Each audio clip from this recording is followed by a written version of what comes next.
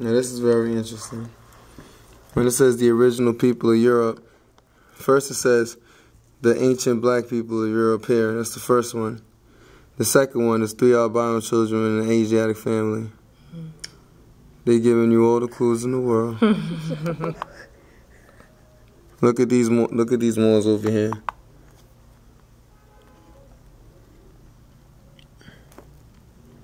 Of the Qing Dynasty Army.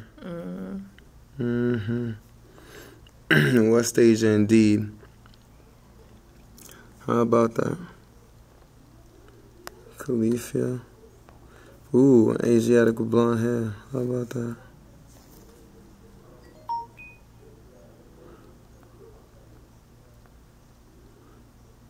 That's what they say the original people of Europe look like.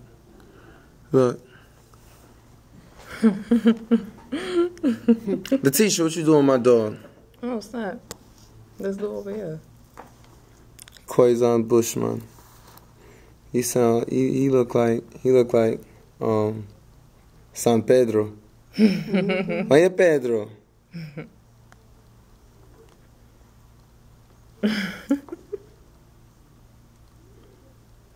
Asiatics. Look at that. Egyptians look. Egyptians mm-hmm. again, original. This is just images. This this right here isn't like the law. But you know what? I mean, this is what is. When you search, this is what comes up. Later on, you got some Europeans look a pig. Mm-hmm. European pig, okay. But look at that right there. A Moorish coat of arms here, right?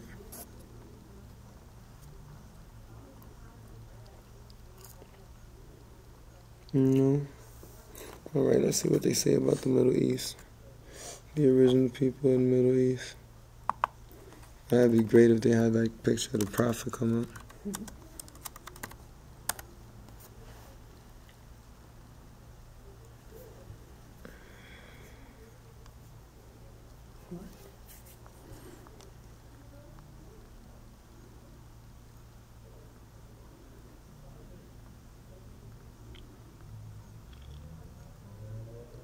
And this was coming up.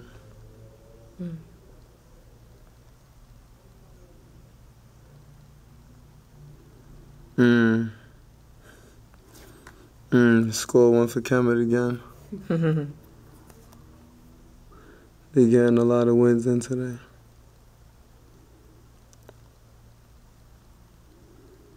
Now that's it says the Middle East, but we know that the Middle East is formerly one Arabia. Let's look at the original people of Arabia.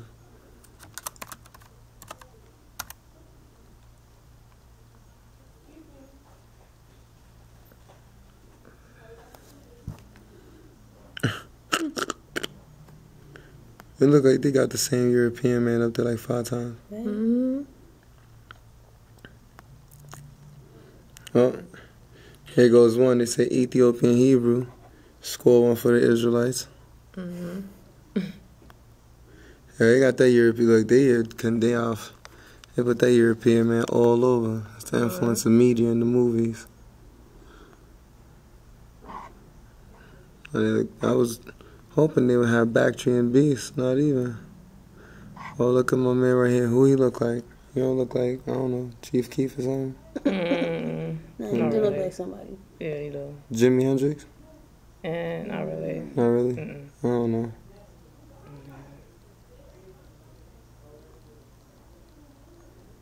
So, now, we know what the original people of Arabia or Middle East or Europe or North Africa look like.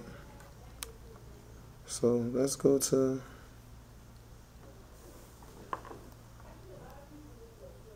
Oh, okay. Don't know doing that.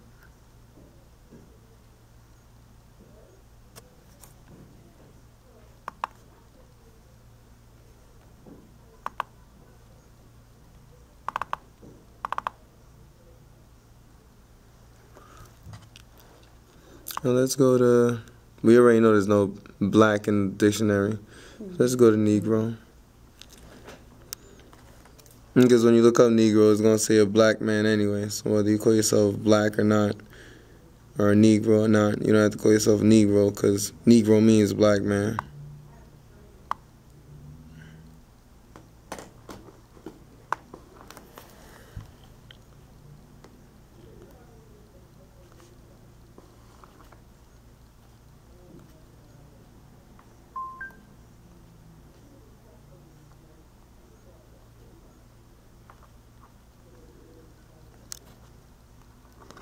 Negro.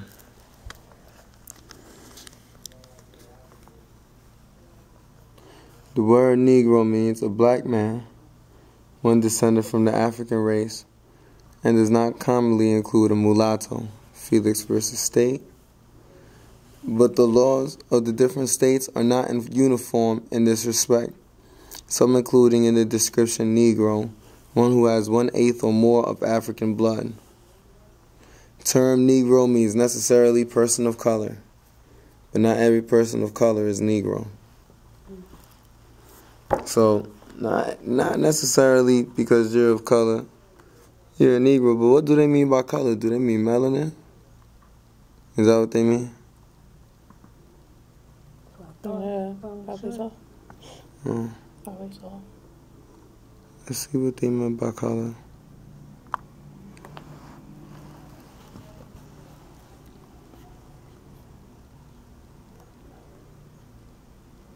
Color, an appearance, semblance, or simulacrum, as distinguished from that which is real. A prima facie, or apparent right. Hence, a deceptive appearance, a plausible assumed exterior, concealing a lack of reality, a disguise or a pretext. It says on the bottom, a term of the ancient rhetoricians. There's only one. Who, who was ancient? A term of the ancient Moors hmm. and early adopted into the language of pleading. It was an apparent prima facie right in the meaning of the rule that pleadings in confession and avoidance should give color was that they should confess the matter adversely alleged to such an extent at least as to admit some apparent right in the opposite party, which required to be encountered and avoided by this allegation of new matter. Color was either expressed, i.e., inserted in the pleading, or implied, which is naturally inherent in the structure of the pleading.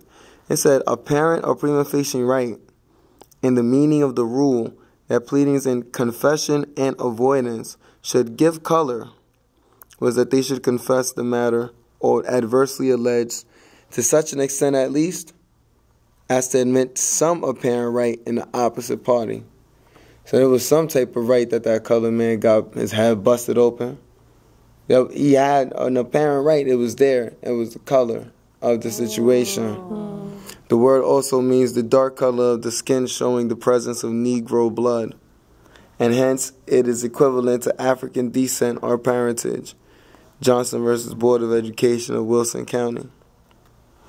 So, the word also means the dark color of the skin, showing the presence of Negro blood. but not every person of color was a Negro. So, what kind of complexion would you need to have to show that you were of Negro blood? Darker complexion. Let's look up. You said white race, right? Mm-hmm. Earlier. Let's look to see white race. Because if we're going to be talking about ourselves and other people, we need to know what what these words mean. What is a white person? Mm-hmm. I mean, sure, white means purity. Purity means God. But I don't think legally that's what it means. And maybe it does. Maybe white man means, you know, that you own property, that you have some land that you own, that you're a lord in your own right. Mm-hmm.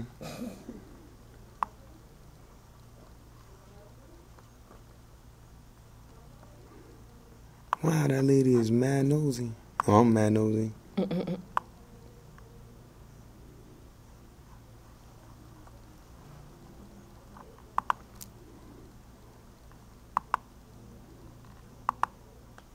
White persons. Interesting. White persons. As used in revised statutes United States 2169 Naturalization Act March 26, 1790 Statute 103 as amended by Act February 18, 1875 members of the white or Caucasian race as distinct from the black, red, yellow, and brown races. That means that a free white person and white persons have two distinct definitions. Does that mean that not every white person is free? Oh, well. Well, the applicant for United States citizenship is a white person eligible for citizenship.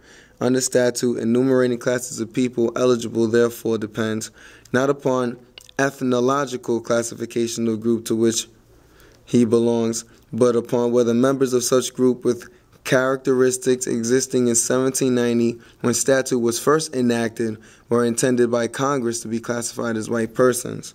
In re Ahmed Hassan, an Asiatic. Mm.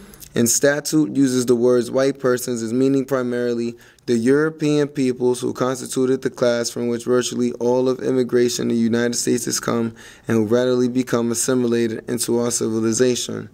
In re Ahmed Hassan. The term excludes a Hindu, a Mongolian, mm. a native born Filipino, mm. a native of Afghanistan, an Arab, in re Ahmed Hassan. It has been held to include a Syrian. But remember, Syrians weren't before, but a Syrian who was born in Persia or had been populating Persia. So a Syrian could still be included. And an Armenian. In the legislation of the slave period, persons without admixture of colored blood, whatever the actual complexion might be. Mm. Persons without the admixture of colored blood, whatever the actual complexion might be. Mm. In South Africa, it's a person of European descent. Now, white race, within the meaning of the Mississippi Constitution of 1890, subsection 207, providing that there shall be separate schools for the white and colored races, the Caucasian race, the term colored races being used in contradistinction to the white race and embracing all other races.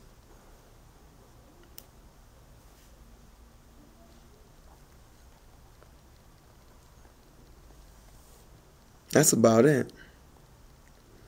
It's telling you who the white persons are. It's telling you who it's not. Really, first. We not talk about a Hindu. Why not a Hindu? I mean, it doesn't matter why not, but we know that the Hindus were renamed Indians. Mm. huh? I was just gonna say, isn't Hindu or Hinduism a religion, anyways? Nah, Hinduism is the practice of being a Hindu. Oh, okay. Just like Islamism is the practice of being a Muslim. Oh, okay, that makes sense. But the Hindustani Empire was a people who um, exercised a portion of nationality because of the body politic being Hindustan, although the um, true blood of the people were ancient Canaanite and Moabite, which are people of Moorish descent today.